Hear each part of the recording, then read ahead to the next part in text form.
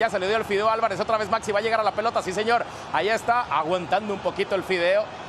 Lo tiene a quien darle, ya lo vinieron a apretar. Aguanta perfecto la pelota, aplica la posesión y luego balón filtrado de nuevo para el Fideo. Álvarez le puede pegar, prefiere tocar en cortito. ¡Gol!